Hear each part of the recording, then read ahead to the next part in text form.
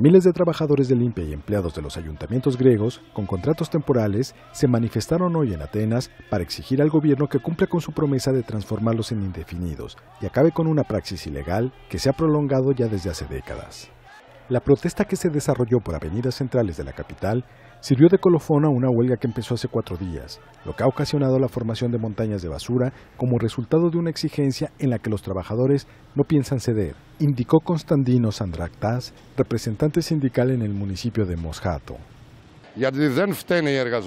No es culpa de los trabajadores, es este gobierno el que les hizo nuevos contratos temporales, es el que les prometió contratos indefinidos y ahora de repente deja a toda esta gente en la calle, en medio de la crisis humanitaria que vivimos.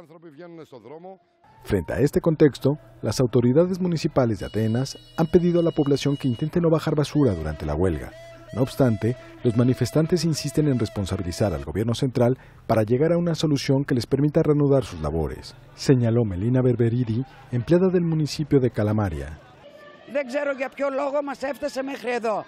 Es el partido en el gobierno el que renovó nuestros contratos. Por eso hemos venido pacíficamente, para que los que nos hicieron los contratos temporales nos mantengan en nuestros puestos.